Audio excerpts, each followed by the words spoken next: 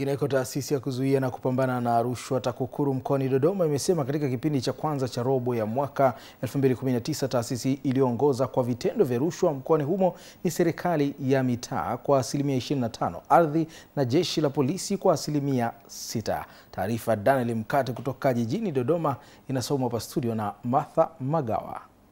Akizungumza na waandishi wa habari ofisini kwake, mkuu wa TAKUKURU mkoani Dodoma, Sostenes Kibwengo, amesema taasisi hizo zimeongoza kwa vitendo vya rushwa, huku akimwagiza mkurugenzi wa kampuni ya Global Space East Africa Limited inayojenga kituo cha afya cha Mima wilayani Mpwapwa kuripoti ofisi ya TAKUKURU kwa mahojiano. TAKUKURU ilipokea jumla ya taarifa 96 za rushwa na makosa yahusianayo, ambapo sekta zifuatazo ziliongozwa ziliongoza kwa tuhuma: serikali za mitaa asilimia 25, ardhi asilimia 17, elimu asilimia 16, afya asilimia 8, maji, ujenzi na mahakama kila moja asilimia saba na polisi asilimia sita. Aidha, Kibwengu amesema TAKUKURU imefanikiwa kuokoa zaidi ya shilingi milioni 152 ambazo zingelipwa na wakandarasi ambao hawakutimiza majukumu yao kikamilifu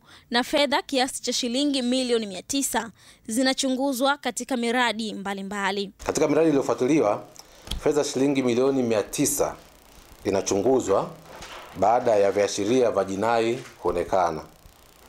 TAKUKURU pia imefanikiwa kuokoa kiasi cha shilingi milioni 152 na laki tatu ambazo zingelipwa kwa wakandarasi ambao ufuatiliaji na ukaguzi wa miradi ya maji umebaini hawakutumiza majukumu yao ipasavyo.